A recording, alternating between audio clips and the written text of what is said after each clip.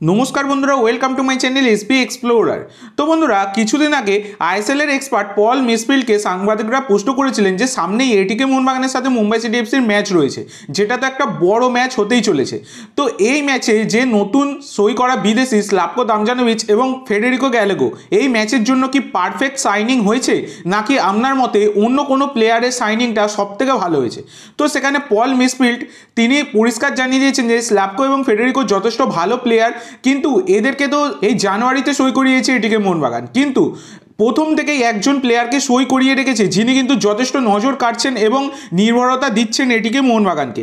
তো সেই প্লেয়ারটির নাম হচ্ছে ভিশাল কায়েত।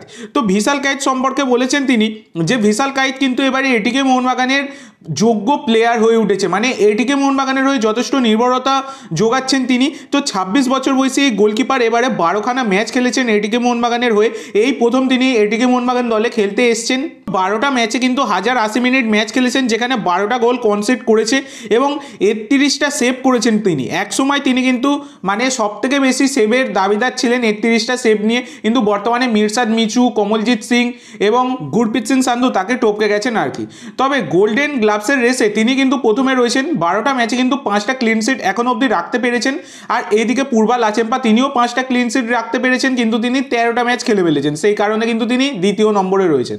ফার্স্টে রয়েছেন বিশাল কাইত। এবং এই এক্সপার্টের মত অনুযায়ী যে ভিশাল কাইত এবারে কিন্তু এটিকে মোহনবাগানের জন্য কিছু বড় কিছু করে দেখাতেই পারে। লাস্ট দুটো ম্যাচে তিনি কিন্তু ক্লিন সিট রাখতে পারেননি, এটা ঠিকই। কিন্তু কিছু করারও নেই, সেখানে ডিফেন্সকে অনেকটা ভঙ্গুল লেগেছে, সেই কারণে তাকে কিন্তু গোল কনসিড করতে হয়েছে। কিন্তু আশা করা যায় ভিশাল কাইত কিন্তু এবারে এটিকে মোহনবাগানের জন্য যোগ্য প্লেয়ার হয়ে দেখিয়ে ছাড়বেন। তো এইটা কিন্তু আইএসএল এর এক্সপার্ট পল মিসফিল্ড বলেছেন। তো এই হচ্ছে আজকের একটা গুরুত্বপূর্ণ ভিডিও আই হোপ ভিডিওটা তোমাদের ভালো লেগেছে। আজ এইটুকু বন্ধুরা। ভিডিওটি ভালো লাগলে অবশ্যই লাইক করো শেয়ার করো আমার চ্যানেলে প্রথমবার এসে থাকলে চ্যানেলটি সাবস্ক্রাইব করো আর কমেন্ট করে জানাও ভিডিওটি কেমন লাগল ধন্যবাদ